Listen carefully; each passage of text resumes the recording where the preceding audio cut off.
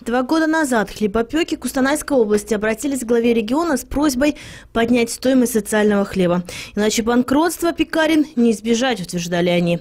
С 2009 года у нас цена хлеба 40 тенге, а цена муки 45 тенге.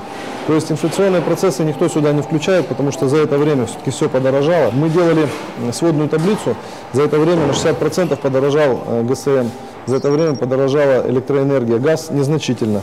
Вот, зарплата э, как бы требует и в отделе статистики, и в Акимате, и люди требуют, чтобы зарплата росла. Зарплата, соответственно, тоже выросла за этот период на 60%. Вот, а цена хлеба она осталась на том же уровне, также 40 тенге.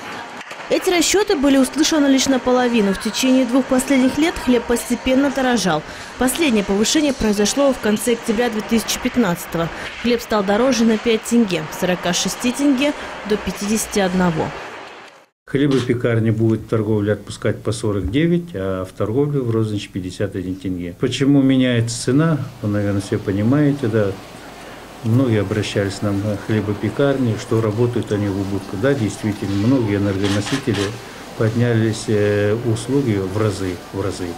Это имеется и по газу цена, и по электроэнергии. Мельница товарищества «Алтенмай» работает на полную мощность. Несмотря на большой рынок сбыта, признается главный бухгалтер предприятия, их производство на протяжении многих лет считается убыточным.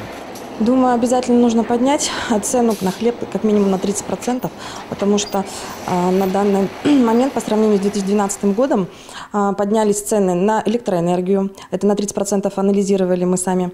Потом поднялись цены на газ, на транспортировку газа на 25%. А, поднялись также прямые затраты у нас. Это на мешкотару поднялись цены, на этикетки.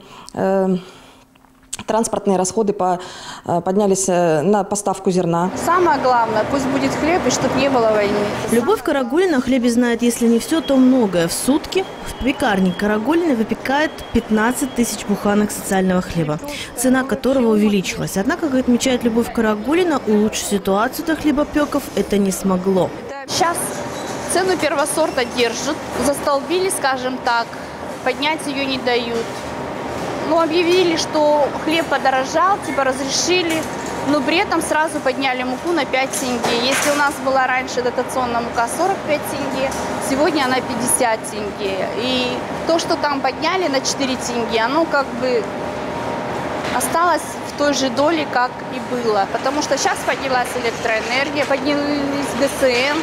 В Казахстане в вопросе социального хлеба решили пойти дальше. И с 1 января 2016 года вообще отказаться от регулирования цены на хлеб и перейти к рыночным механизмам ценообразования на хлебобулочные изделия.